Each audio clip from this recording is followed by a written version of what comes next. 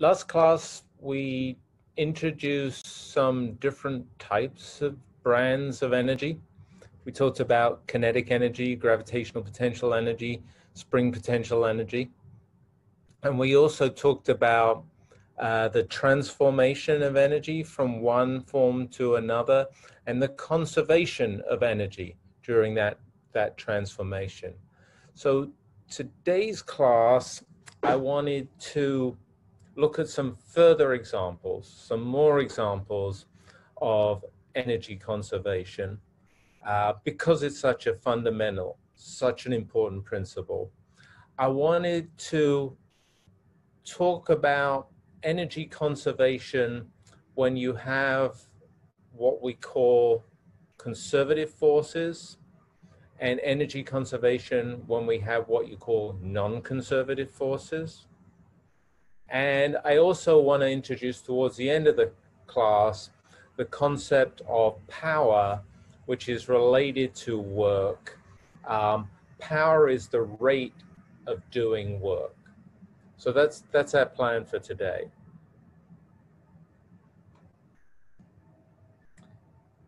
I want to start though just with a sort of big picture of energy. Um, a sort of step back and give a big perspective on energy so that as we work through the details of problems of energy, energy conservation, um, we're aware of the, the importance, the meaning of these ideas of energy and energy conservation. So uh, if you remember, we began our work on energy with the idea of doing work. And we un now understand that when forces do work, they are exchanging, moving energy around. Uh, we then moved on to uncover, to explore different forms of energy, uh, different brands of energy. So we talked about, you know, kinetic energy. We talked about gravitational potential energy. We talked about spring potential energy as examples, illustrations of types of energy. There, there are many other forms of energy. There are many other types of energy, but we met those three. Um, and for example, kinetic energy is an energy that's associated with uh, movement, an object's movement. Um, potential energy is an energy that's associated with an object's interaction. And for the latter, the potential energy, you know, there's potential energy associated with gravitational interactions, there's potential energy associated with electrical interactions, uh, there's potential energies associated with all sorts of interactions. Out of sort of uncovering and exploring this kind of hidden garden of this or that type of energy, this or that form of energy, came an overarching principle that whilst we can move energy around from one form to another form or one owner to another owner, um, we never destroy energy. We never create energy in that process. It just flows around, it just moves around and is never lost and never gained. And that's an extremely important sort of guiding principle for how universe works.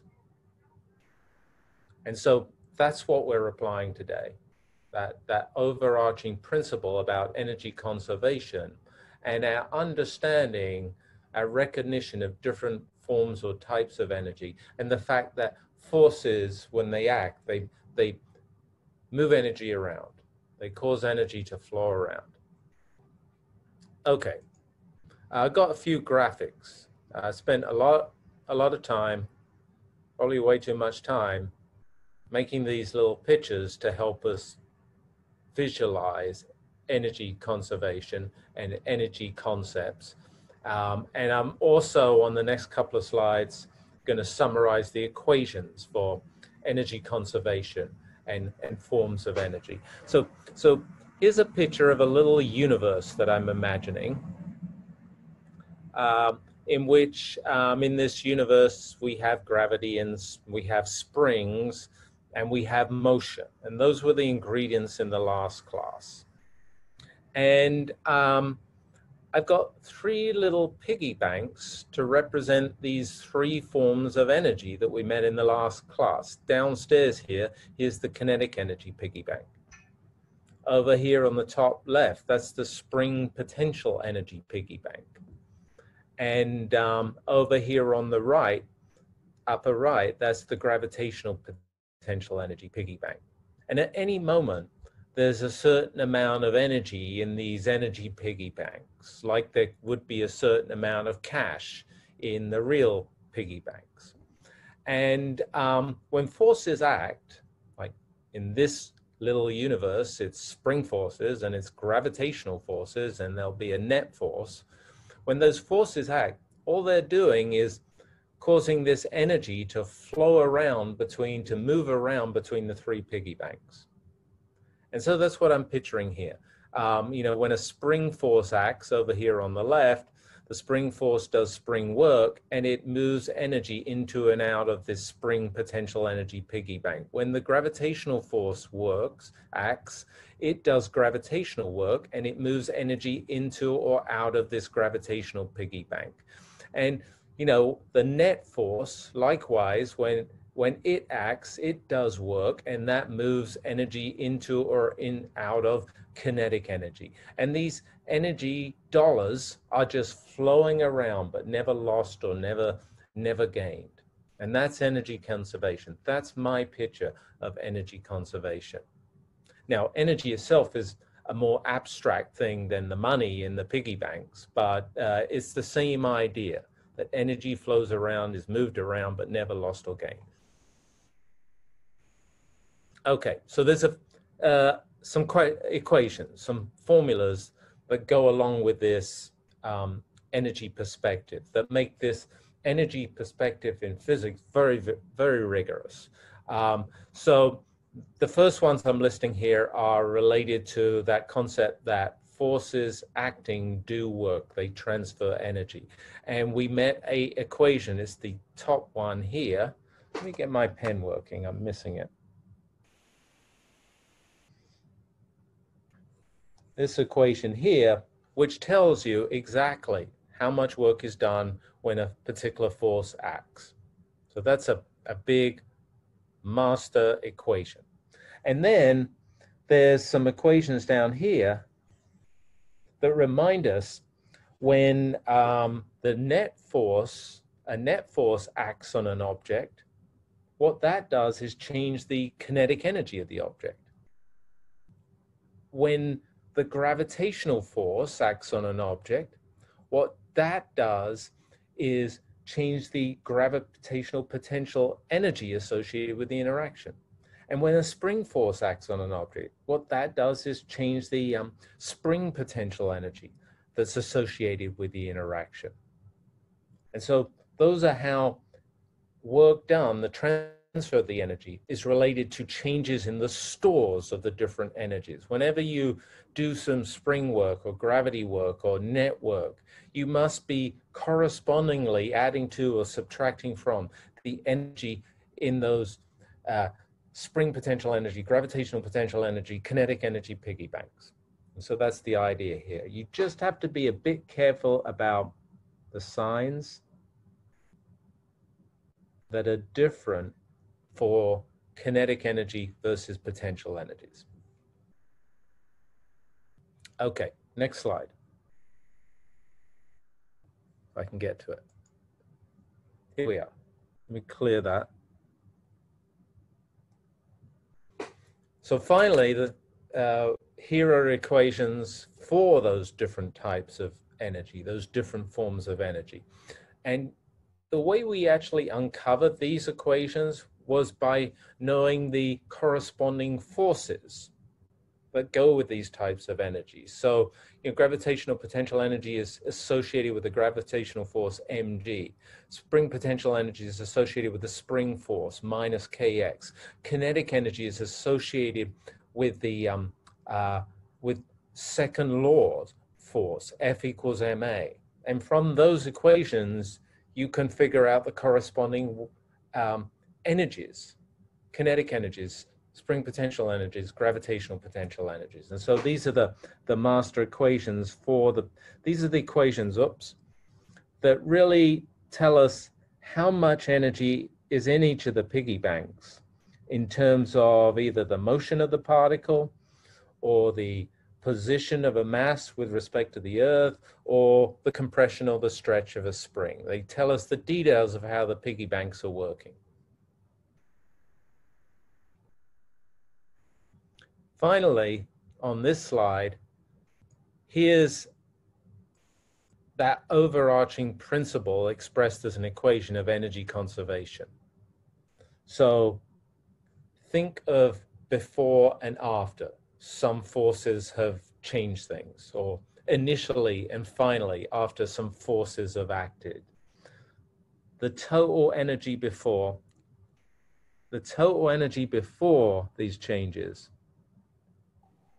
due to these forces that are acting is the same as the total energy after these forces have acted. So energy may have been, may have been moved around from the different energy piggy banks, but no energy was lost or gained. We can write that simply as the total energy before equals the total energy after. We can write it this way. Sometimes this is useful to break out that initial energy into kinetic energy and potential energy forms and break out that final energy into kinetic energy and potential energy forms. And the sum of those forms must be the same before and after the forces have acted. And we can also break it out. Sometimes this is handy. This is also equivalent that if you change the potential energy by a certain amount, you must correspondingly have changed the, um, the potential energy, the, the kinetic energy. So if you um, acquired an extra joule of potential energy, you must have lost a joule of kinetic energy so that energy overall is conserved. Anyway, those are all the ways that we can express energy conservation.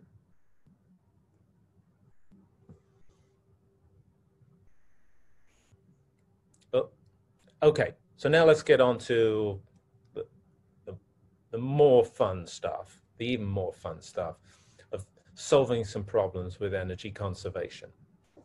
Uh, so here's an example problem. Um, in this problem, we've got a 80 kilogram roller coaster and it's sliding down a frictionless incline and it's going to collide with this spring, this large spring at the bottom of the incline. And um, it's going to collide with that spring and come to rest. And um, we're going to figure out how much that spring gets compressed. And we're told a bunch of numbers associated with the problem. So we're told the mass of the roller coaster car. Uh, we're told the um, initial height was 30 meters, the final height is zero meters. We're told the, um, the compression of the spring.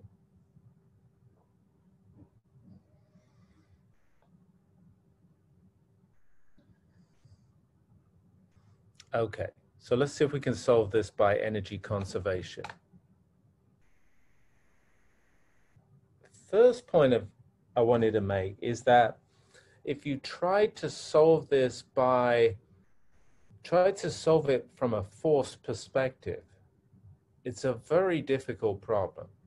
It's actually a very complicated problem. So the reason it's complicated, let, us look at the, some of the forces that are, that are involved. So here we are um, on the top right, let me get the pen working again.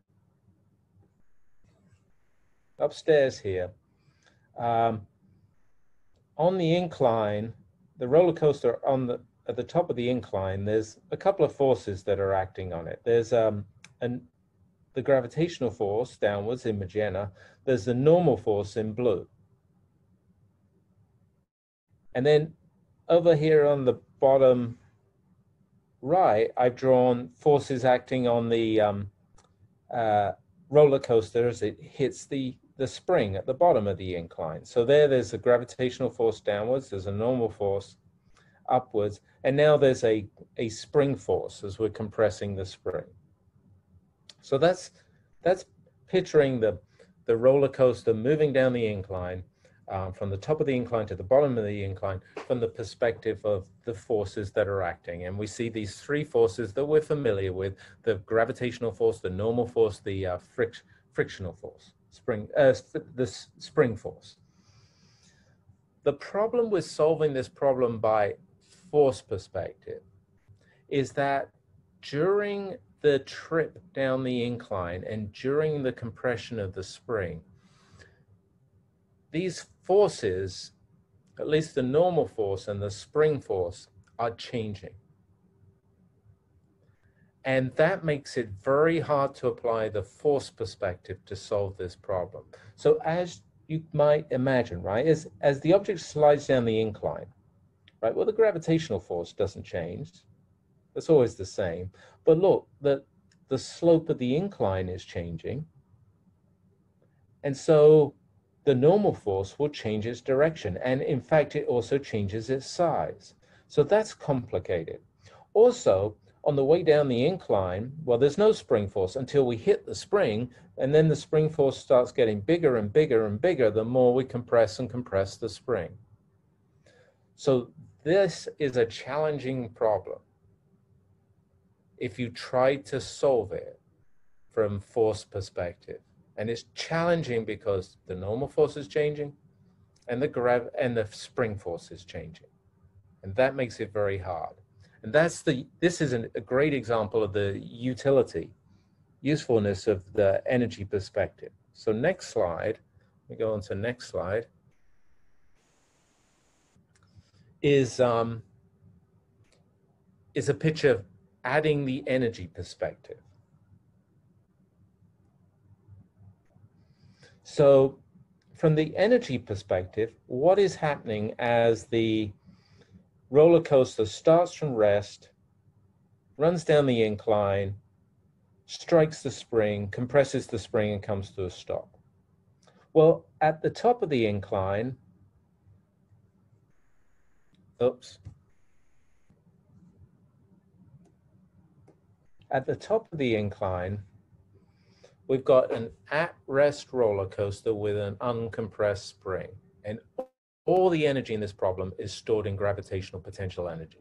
So here, the gravitational potential energy piggy bank has got all the energy. As we roll down the incline, we're turning some of that gravitational potential energy into kinetic energy. As we compress the spring over here on the, on the right hand side, we're turning that kinetic energy back into a potential energy, but this time spring potential energy. And now we fill up the spring potential energy piggy bank. So from the perspective of energy, in this particular example, we start with gravitational potential energy, and we're just going to turn it into spring potential energy.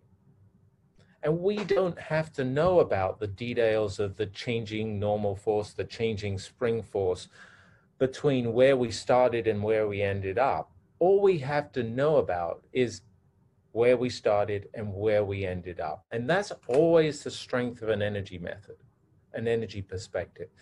What counts is just the beginning and the end, and exactly how you got from the beginning to the end, from the initial to the final, from before to after doesn't matter that much. You don't have to worry about it in solving this problem from the energy perspective. Okay, so that's going to be great because that allows to solve this problem. So let's try and do that.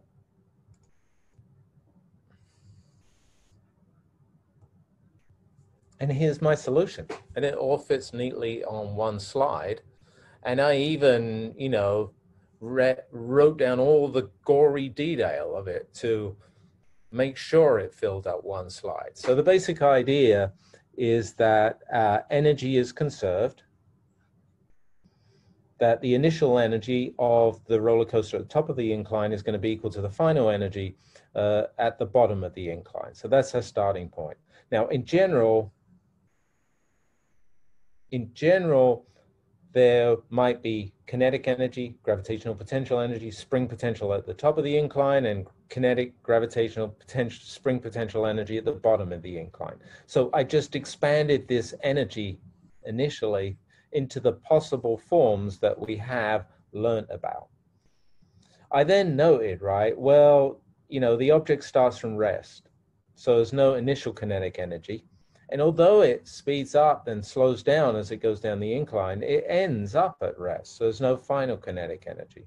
Also, I noted that the spring potential energy when the object was at the top of the incline, well, that's that's going to be um, uh, zero because the spring's not compressed. And the gravitational potential energy, when we've given up all this elevation, come down to ground level, that's going to go away at the bottom of the incline. So actually, all I really have is in this picture here, turning, as we said, gravitational potential energy initially into spring potential energy finally. That's what's happened. Okay. So then I can just fill in, remember my master equation for the gravitational potential energy that we got from the gravitational force? I fill that in. The mass of the car times the acceleration of gravity times that initially initial height. And then I fill in the master equation for the spring potential energy due to the compression of the spring. Half the spring constant times the square of the compression. And I end up with this equation here. And this equation here contains the quantity I'm trying to figure out, how much the spring got compressed in terms of other quantities that I know, most importantly, the initial height of the roller coaster. And so I rearrange this equation for x over here on the left.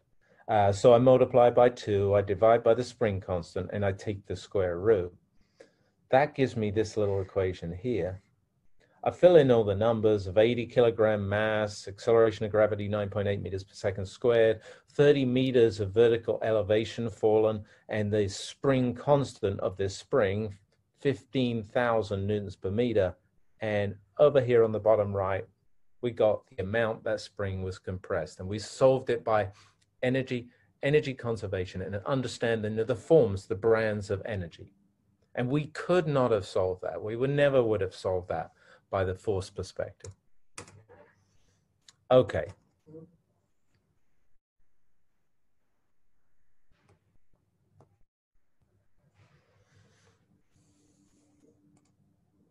I want to show you a second example of um, applying energy conservation. And um, let me first show you um, a little demonstration that's related to this example. So in this example, we're going to, um, you know, I always used to watch Tarzan when I was growing up. I don't know that anybody watches Tarzan now, but uh, Tarzan, when I was growing up, was always swinging from vines in trees. Um, and that's what he did at every, every single episode. And um, in this particular problem, we're told that Tarzan swings on a 32 meter long vine where he's initially at an angle of 33 degrees to the vertical. And as you know, if you swing on a rope, you swing on a vine, um, as you swing downwards, you're going to get faster. And we're going to find his speed at the bottom of his swing, at the lowest point on his swing. And um, this is a, a, another problem that's a fantastic example of energy conservation methods and why you would rather use those over force methods for solving this problem. But I want to show you the demonstration first. So I've got to um, share a different screen if I can here.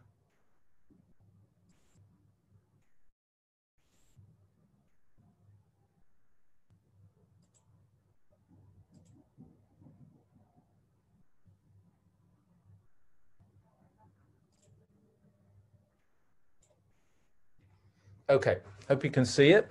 And um, what you're looking at here is, you know, here in engineering at the University of Kentucky, we built this object and we stuck UK sticker on it because of that. And um, what you see is in the middle, where's my mouse? There's a thin wire here. And down here is metal Tarzan. So this is Tarzan.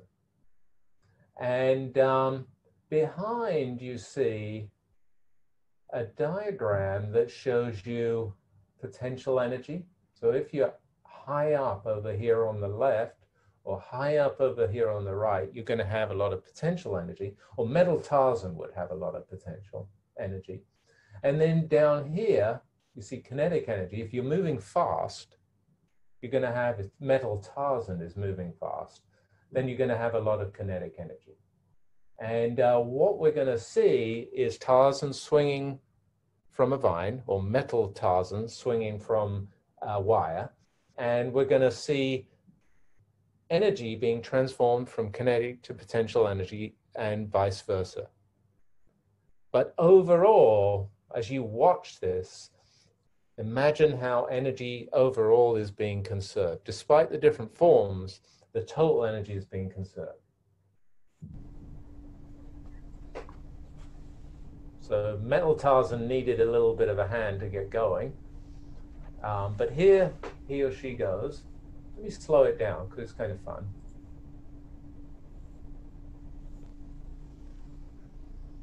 And you can notice from this video, it's actually really clear in this video, that when he gets high up, or she gets high up, Metal Tarzan gets high up on the left or the right, the far left or the far right, slows right down and for a moment comes to a stop. That's when he's or she's all gravitational potential energy. And when he swings through the vertical, that's when he or she, Metal Tarzan, is going fastest. And that's when he or she has the largest kinetic energy. And what you're seeing in this swinging Metal Tarzan from the energy perspective is this constant exchange that's going on between gravitational potential energy and kinetic energy that's caused by the forces acting.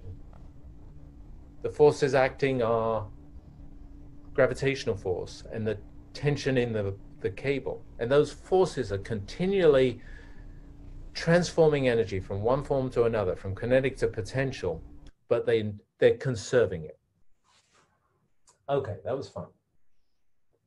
Stop sharing that guy. And uh, let's go back to the lecture.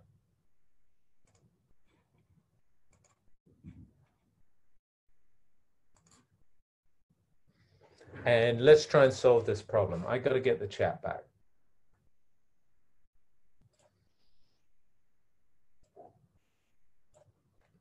Okay. So um, just to summarize, we're going to imagine Tarzan swing on the 32 meter long vine where he starts at an angle of 33 degrees, and we're going to find out his speed at the bottom of the incline. That is our job. And so I drew it, first of all, from a, um, a force perspective. so that's what you see in this slide here. Um, here's um, spherical Tarzan now, because um, here she's put on weight. So spherical Tarzan in orange. And here is the vine. And here is the vertical. And Tarzan's going to swing down from 33 degrees to the vertical through the vertical. And we're told Tarzan starts from rest. So here's the initial speed of Tarzan, V naught we call it, and here's the final speed as he goes through the vertical, uh, V we're calling it. And um, from the force perspective, there's a gravitational force that's going to act on Tarzan that's acting straight downwards. There's a tension force here in this nice magenta or aquamarine or whatever it is, uh, that's acting along the vine and uh, that those forces will cause the the net a net force that's in magenta. Uh, I have no idea what these colors are. Purple. Uh, that's in purple here, and that causes the acceleration of Tarzan. That's why, starting from rest, he gets faster and ends up with this speed v. The problem is, from the force perspective, is that although gravity is constant as Tarzan swings down, the tension force is actually not. You can see it's changing in direction. It's along the vine. It also changes in size, which means that the net force that also changes in size because and direction because the tension is changing, which means that to use Newton's second law and solve the final speed from the initial speed from a force perspective is very tough, very hard with a, a changing force. And so this would be a horrible problem for us to solve with the force perspective, and I would never solve it with the force perspective. This is a perfect problem for the energy perspective. Okay, so here I've added the energy perspective to the diagram. From the energy perspective, um, Tarzan started at some initial height, I'll call it x naught, in the tree, and swung to some lower height, I'll call it x, uh, when he's vertical. So he swings downwards. So that means that there's a, a change in gravitational potential energy. There's actually a release of gravitational potential energy. And where did that energy go? Well, Tarzan started from rest. Here's his initial speed, V naught. That's zero. And he acquires some speed. Here's his final speed, V. And that kinetic, that potential energy, gravitational potential energy that he gave up is now turned into um, uh, kinetic energy that he owns at the bottom of his swing here. And it's from that energy perspective. This is a lovely problem from the energy perspective, and we're going to solve this problem from the energy perspective. Um, there is just a little bit of um, geometry work that I did over here on the left-hand side to prepare myself for applying the energy perspective. The thing is we need to know vertically how far did Tarzan fall? Well, we weren't really told vertically how far we would he would fall. Rather, we were told the angle of the incline. But knowing the angle of the incline and the angle of the incline, what am I saying? oh gosh, uh, the angle of the vine. Knowing the angle of the vine and knowing the length of the vine, we can find this vertical distance. So the way you find this vertical distance is that the distance from the top of the vine here to the bottom of Tarzan's swing, that's going to be 32 meters because that's the length of the vine. That vertical distance is 32 meters. The top of the vine to Tarzan's original height, that's this distance here. Let me get the pen working and, and mark this.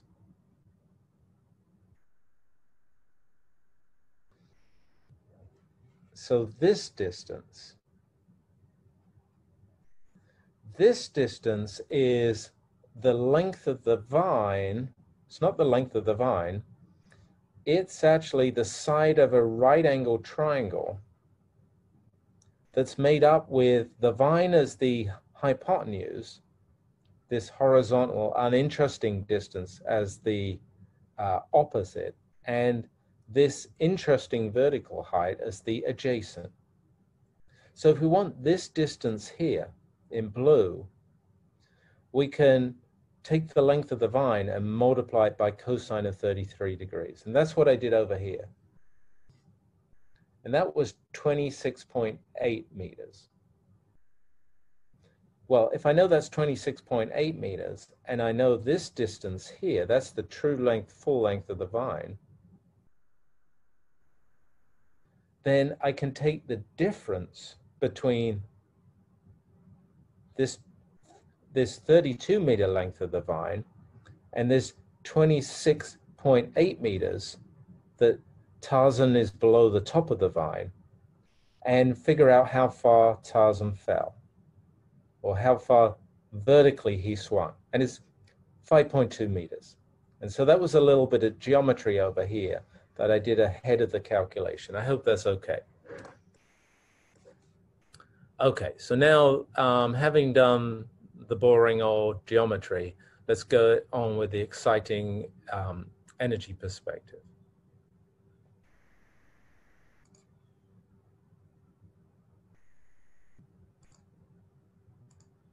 Okay, So here we are. And my goal here, just a reminder, is I, I, I know the distance that he swung downwards. That's 5.2 meters. I want to um, calculate the speed he arrives at the vertical with. How fast is he going there? Now, I did make a little bit of a choice um, when I did this. If we look over here on the left-hand side at the diagram,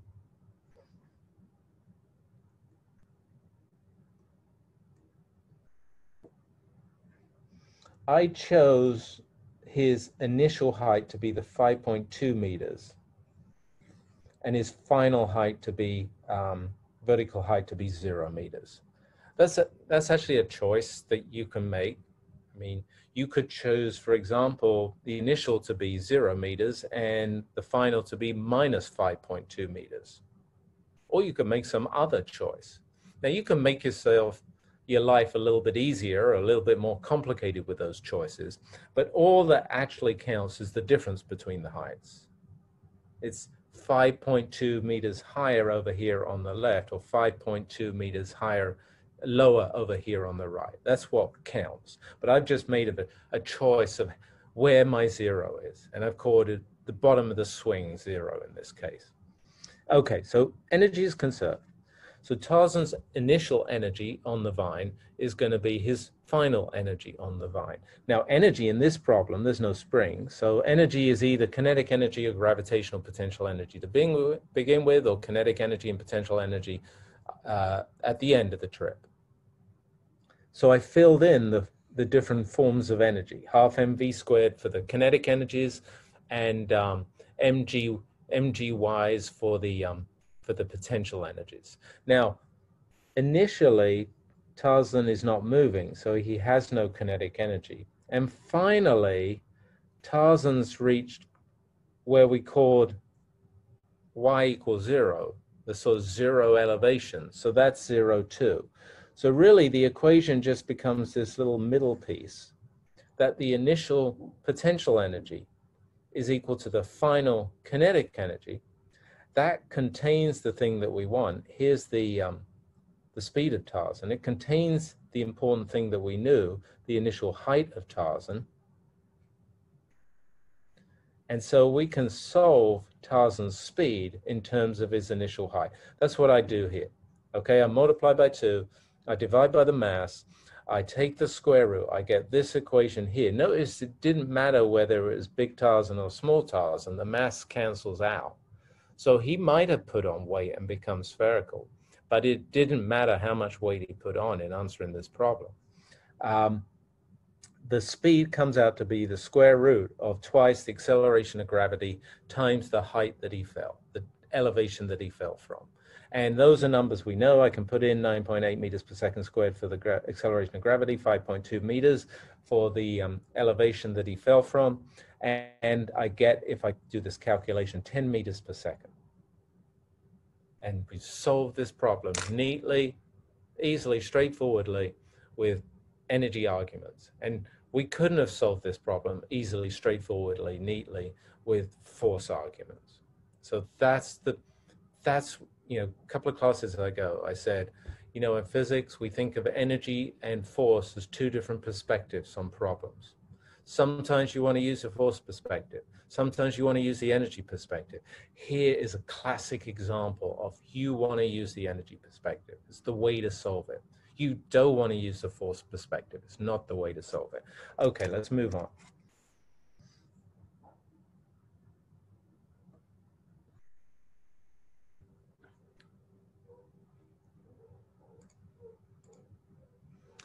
Okay, so I want to um, expand our universe at this point, to make our universe bigger, to make our universe fuller and make our universe more complete.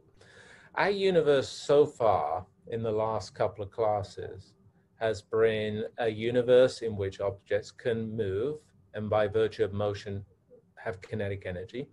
And objects uh, experience gravitational forces and by virtue of that can have gravitational potential energy.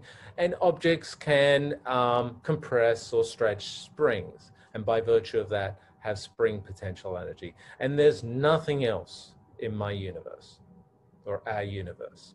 I'm going to add something to our universe. I'm going to add friction, an additional force. And the reason I'm, you know, out of all the forces of nature, you know, why have I decided to add friction? I've decided to add friction because it's the classic example, what we call a non-conservative force. And this is going to show you how you handle energy conservation with non-conservative forces. A bottom line is that it's only conservative forces that you can associate a potential energy with. Non-conservative forces, you can't associate a potential energy with them. And so you, we treat them differently. We treat them separately in solving energy conservation problems. And so we're about to explore that world with the example of friction. Okay. Okay, so to, to give you an idea of how we're going to do it, let me start with this little slide here in which we consider an old problem. Like we looked at this, I don't know, a million times, right, so far, even we're only five weeks into the semester. It's a block sliding down an incline. And uh, we're going to consider this block sliding down the incline uh, under two circumstances. One where there is friction and one where there is not friction. So if there's no friction, which is, let me get the pen working again. No friction is this upper box here. Without friction, there's just potential energy, gravitational potential energy, and then there's just kinetic energy, energy by virtue of motion. And as the block slides down the incline, we know that the kinetic, the potential energy gets turned into kinetic energy, but in that process, the sum of the kinetic and potential energies is constant. So this is no friction. Oh, it actually says that there. What about with friction? Well, with friction, again, when the block slides down the incline, um, there's potential energy, gravitational potential energy, uh, that gets lost as it slides down the incline. There's kinetic energy that gets acquired as it slides down the incline. But in this case, the sum of the kinetic energy and the potential energy is actually not constant. It looks like we've lost energy. So how can I explain that? Well, the key is up here. with friction, as the block slides down the incline, there's a frictional force. And that frictional force, according to this law of how much work is done by forces when they act over some distance, that frictional force will do work. That frictional force is taking energy away from, transferring energy from this system of the block on the incline. And that energy actually goes into, it warms up the incline and the block. It might make noise between the uh, block and the incline. It goes into other forms, other types of energy. So it's not lost, it's not destroyed, but it's just transformed away from the kinetic and potential energy of the block. And so we have to account for that. And the way we account for that is we add in this little extra piece. The W is work. The NC is non-conservative forces. Friction does some work, and friction is an example of a non-conservative force. So as the block slides down the incline, the final kinetic energy plus potential energy over here on the right is smaller than the initial kinetic energy and potential energy over there on the left. It's smaller because negative work is being done on the block on the incline by the frictional force. So this number, this, this quantity of work, WNC, that's a negative quantity that's subtracting energy from the initial, what we call mechanical energy, the total potential and kinetic energy of the, the, the block, uh, on the incline is subtracting some of that energy away so that the final mechanical energy, the sum of the kinetic energy and the potential energy of the block, has, is smaller than the initial. And so this is how we modify our equations of energy conservation to handle that naughty frictional force that can't be represented by a potential. There's no friction potential energy. It has to be dealt with by just by hand subtracting off the work that it does, pulling out the work that it does, and that it robs and causes the block to get hotter, hotter, the block to make a sound. Okay.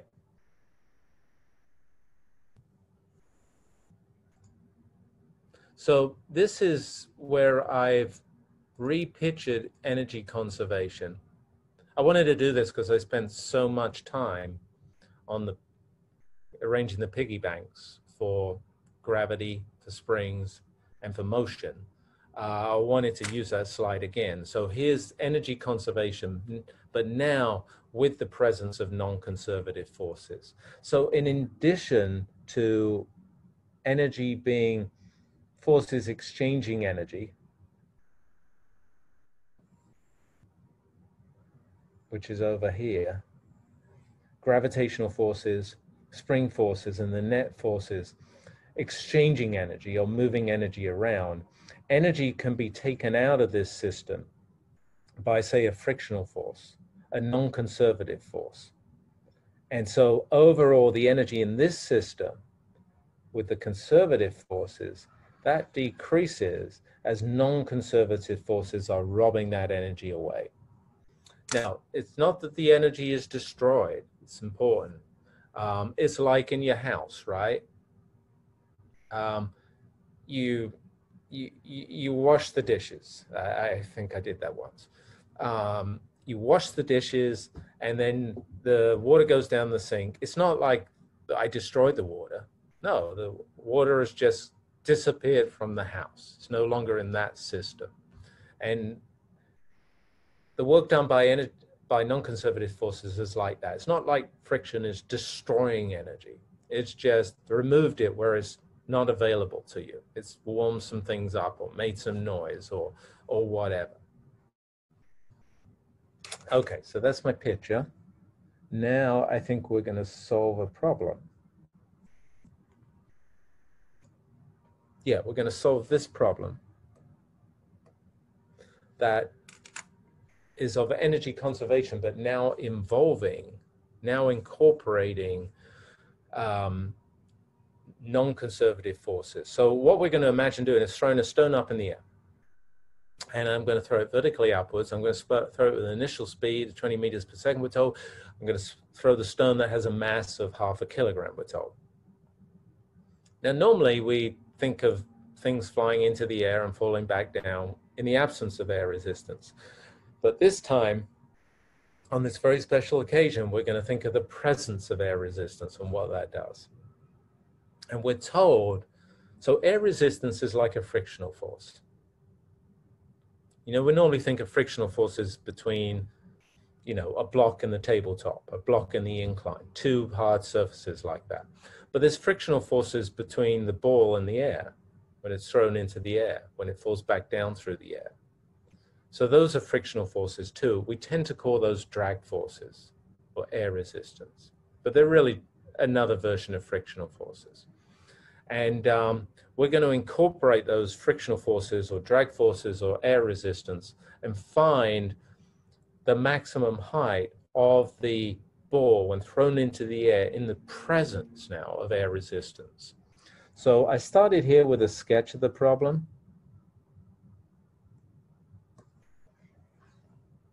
Oh, I didn't mean to do that at all.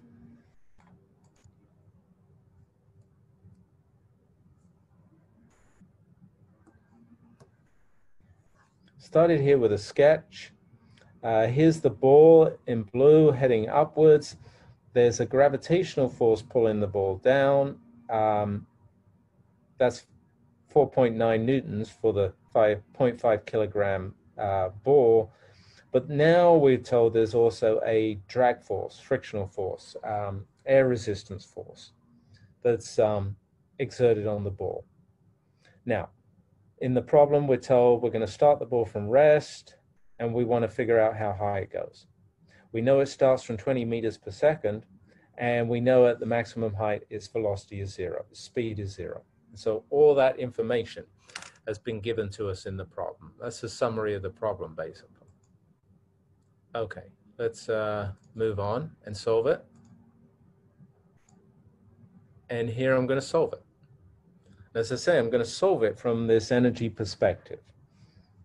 And um, the idea is that we start out with some initial, in general, we start out with some initial kinetic energy and gravitational potential energy.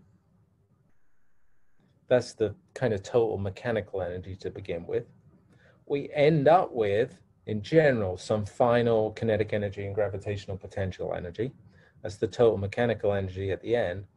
And in getting from here to there, if there wasn't air resistance, the initial energy and the final energy would be the same.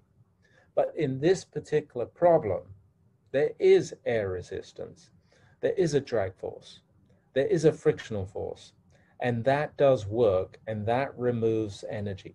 And so we've got to incorporate this. And so downstairs is basically what I'm going to execute in solving this problem.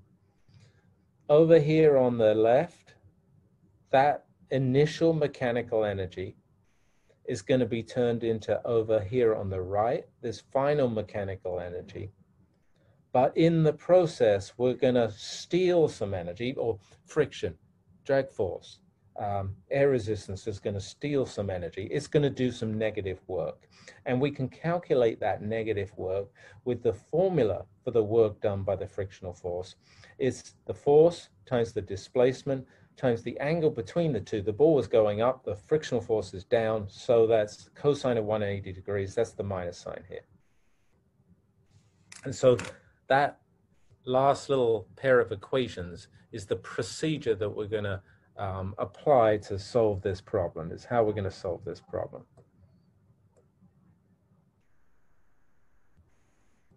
Okay. And here we are solving it. Okay, so the, the, at the top, the figure is just the figure from the last slide. There's nothing new there. This, this is just a reminder. And then here was the equation that we wrote on the last slide. This is how we're going to solve it. This is how we're going to apply energy conservation with the presence of a um, non-conservative force. Um, in my particular case,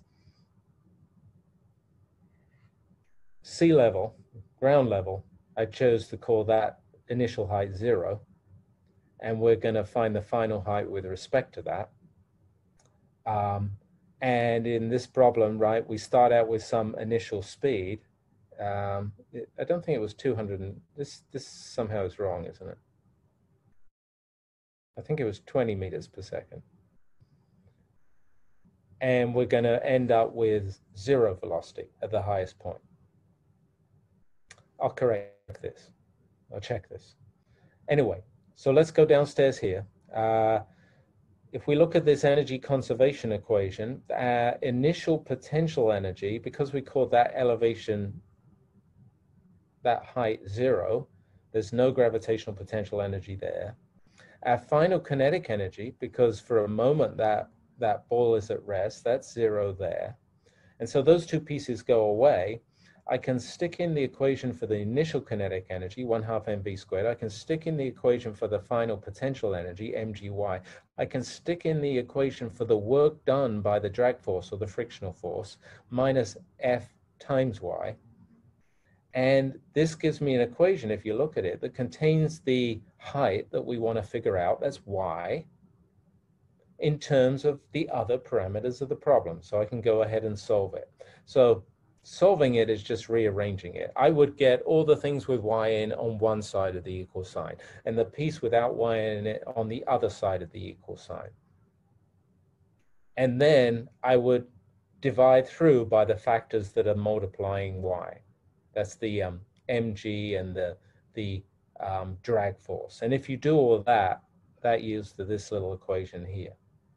The height is 1 half m times the initial velocity squared divided by mg plus the frictional force, the drag force.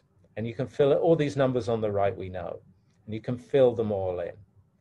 And um, there's an interesting point here, a couple of interesting points. Now, the height does depend on the mass of the particle. In the absence of air resistance, um, the height wouldn't depend on the mass of the particle. But in the presence of air resistance, it does depend on the, the height of the particle. And um, that was our original problem with seeing all objects dropping with the same acceleration of gravity. They didn't all drop with the same acceleration of gravity in the presence of air resistance. So it's, it's interesting to see that come back a bit. I'm going to put back on the chat here, okay? But, but nobody's chatting with me. I don't, I mean, I have no clue if you're even out there, to be honest with you. Um, okay, so um, it depends on the mass now, which is interesting. It also, this elevation here, because there's this extra term force in the, in the denominator, makes the denominator bigger, makes the elevation smaller. This 19.3 meters is smaller than the height if it, if it was heading upwards in the absence of air resistance. And I actually calculated the uh, answer in the absence of air resistance, and it gets to 20.4 meters rather than 19.3 meters, so just over a meter higher. So that's interesting. Okay, let's press on, if I can. Okay, because I have a quiz. So, you know, the question asks, let me go to the question. Um, was energy destroyed by air resistance as the ball was thrown into the air?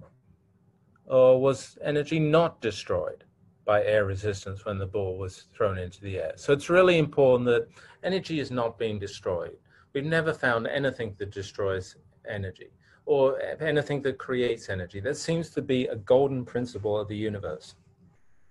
Now, air resistance did transfer energy away from the ball, the air around the ball and the ball itself would become warmer. You might even have heard some noise from the ball moving through the air. So those are forms of energy that remove it from the sort of mechanical energy system, the kinetic energy and potential energy of the rising ball. But that energy was, was not destroyed. We know of nothing that destroys energy. We know of nothing that creates energy. So that's that's a very important principle. I want to show you a demo of the fact that when you have friction, there's friction here in this problem. There's friction as you slide something across a table. You probably know if you, um, well, I can do a quick demonstration here, friction. Um, if you can see me, uh, I'm not sure the answer to that. But if I rub my hands together, my hands get warm.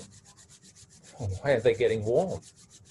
They're getting warm because of the friction. The friction is turning the kinetic energy of my moving hands into thermal energy. And so that's an example of rubbing your hands together, it warms your hands up on a cold day.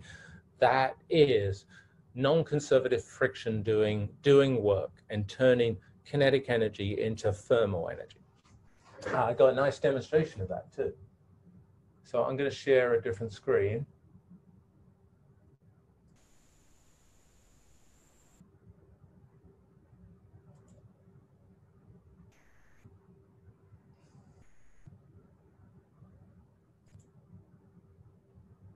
Okay, hope you can see it. And um, you're going to see me when I was a little bit younger in this one. And we're going to see how friction, with friction, we can actually make fire by turning kinetic energy into thermal energy. Next on my list of priorities is fire, and securing it can be tough. What I'm doing now is making a bow, takes a little perseverance, but once you've mastered it, it's as good as having a box of matches. Bit of smoke starting. Need enough of that to make an ember to then drop into the tinder. Here we go. Okay, then the ember on a tip carefully into the tinder and then just nurture it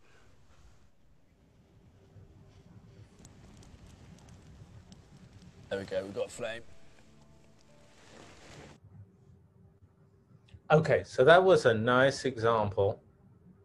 Um, I turned in that example uh, motion, kinetic energy. I was rotating that stick with the bow. I turned that motion, that kinetic energy, into um, thermal energy.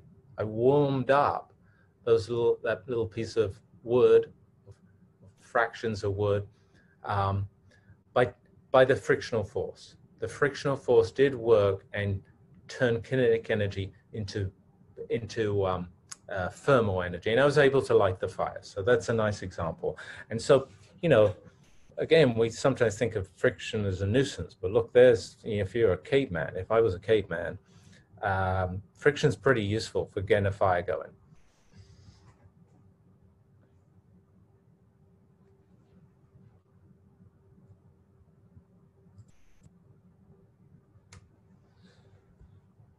Okay, so what am I doing now? That's a good question. And going back to the slides, and let me get share those again.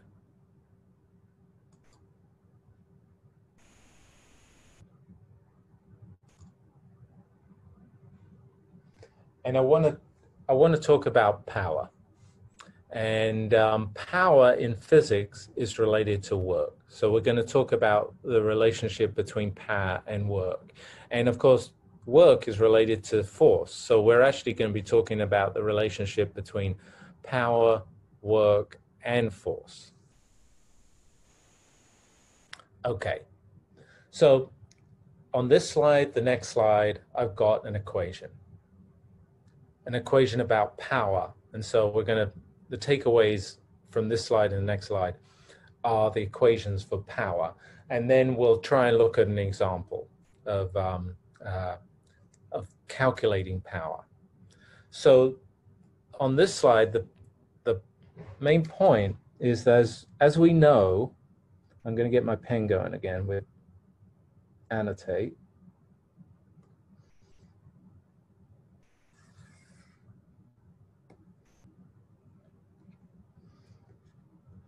As we know, when forces act, um, they they do work, which means they transfer energy.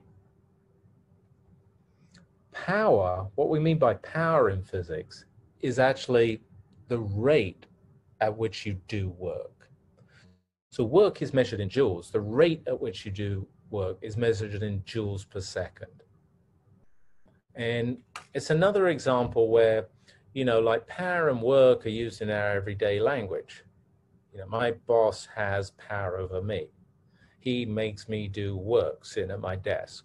Um, power and work in physics have very definite meanings, very quantitative meanings. Work is the energy transfer in joules, and power is the rate of energy transfer in joules per second. And we, those the, that energy transfer rate is so important. We give those special units too. We call them watts and give them the symbol W, which are joules per second or J over S.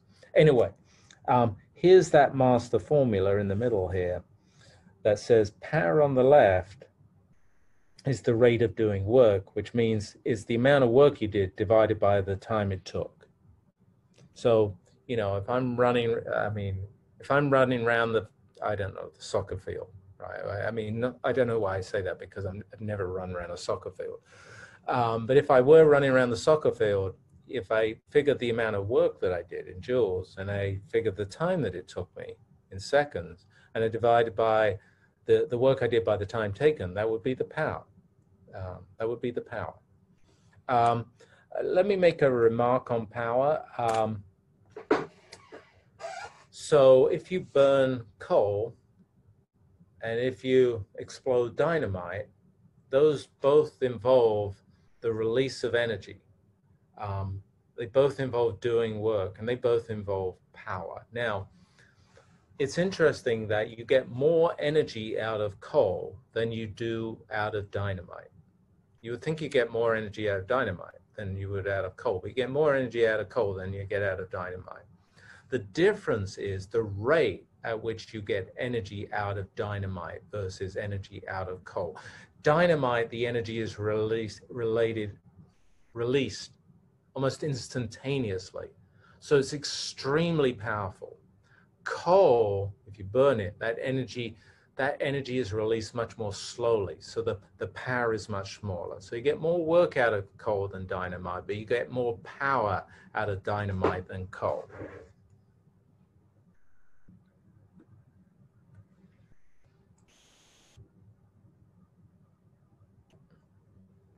Second, second equation that I want to induce.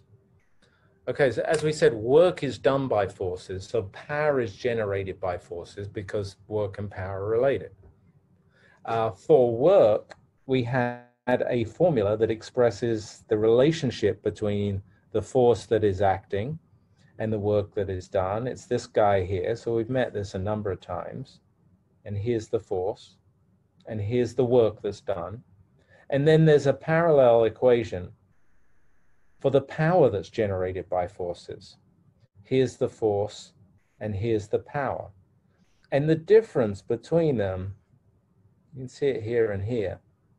The work that's done by a force is in proportion to the, the distance over which the force acts. And the power that's generated by the force is in proportion to the, um, the speed um, at which the um, object was moving. And so um, those are the partner equations for the work done and the power generated when a force acts. And so both of those can be useful. Both this guy and this guy can be very useful. Again, you know, the power is measured in watts. Uh, the work is measured in joules. A watt is a joule per second. And you can see that in this equation because instead of meters and displacement for the work, you've got meters per second and velocity for the power. So there's there's the difference between them. Okay, um, and just as a example, right? Is so now I'm going to run. I'm going to run a, a hundred meters. Supposing I would try and try and do that. Could I could I run a hundred meters? Well, if I run a slow jog, I could probably run a hundred meters, maybe if I try and do a fast sprint, I really struggle to do a 100 meters. Now, the slow jog of 100 meters, the fast sprint of 100 meters, I'm probably going to do about the same amount of work, same amount of joules consumed.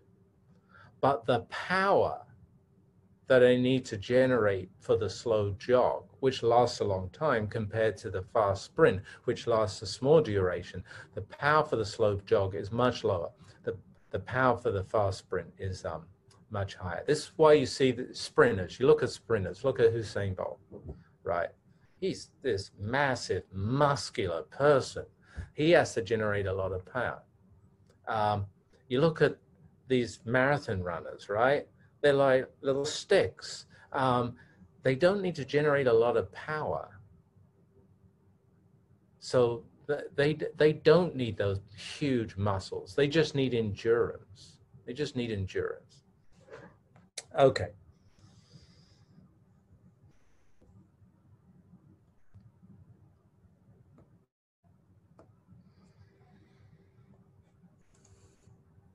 So let's end up with um, a question on power.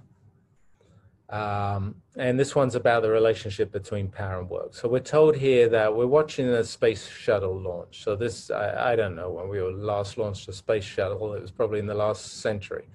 Um, not quite, but it seems like that. Anyway, we launched space shuttle, and we're told that this um, two million kilogram space shuttle. It's amazing. It goes from zero to 4,800 kilometers an hour in two minutes, and it reaches in that time a height of 45 kilometers. What power? What power must be delivered by the engines to get it to that height and that speed in that short amount of time? Must be, yeah, I mean, you can tell from the pictures, enormous, absolutely enormous amount of power. So here I'm going, I'm going to calculate it. And I'm going to, I did it in two steps. I calculated the work and then the power. And uh, I calculated the work by thinking about energy and I calculated the power from its relation to work. So let's do this. Let's start with work first. Well, the, the, the work that must be done on the space shuttle to get it to four, 45 kilometers and to get it to that speed of, I converted it into meters per second, 1,333 meters per second. The work that is needed is whatever work is needed to give it that extra gravitational poten potential energy and uh, that extra kinetic energy. And so that was my starting point here. The work done by the engines must have given it that kinetic energy associated with that speed and that potential energy associated with that height. And every number over here on the far right, we were told in the problem. So I just filled in the mass of the space shuttle, um, the speed and final height of the space shuttle. I just plugged them all in and that gave me the work. That's this line here. And you know, sort of roughly two thirds of it was associated with the kinetic energy gain, and one third was associated with the potential energy gain. So the engines had to get it high and they had to get it fast. So their en energy, their, their work was used for both of those items. Then all I have to do to get the power is take the, um, the work that the engines did and divide it by the time that it took. It took 120 seconds. And if you divide that amount of power, it was like um, two point, what's this, a, a trillion, 2.66 trillion joules divided by 120 seconds, I get 22 gigawatts, 22 billion gigawatts, just to give you a perspective, right? That is what what other things make a lot of power? Well, power stations make a lot of power. That's why we build power stations. There's you know coal-fired power stations. There used to be in the past. There's uh, hydroelectric power stations. There's nuclear power stations. How much does a nuclear power station deliver? How much power? It's ten times smaller than this rocket blast that got the space shuttle into flight. And so this is truly an amazing engineering feat to deliver this amount of power. Anyway, I'm going to end there. We've spent three classes on energy, energy concepts, energy conservation. And next week, we're going to spend some classes on another important quantity. Uh, it's momentum, um, momentum conservation and um, momentum concepts. And so um, together, energy and momentum really become these huge guiding principles for how the universe works. Okay,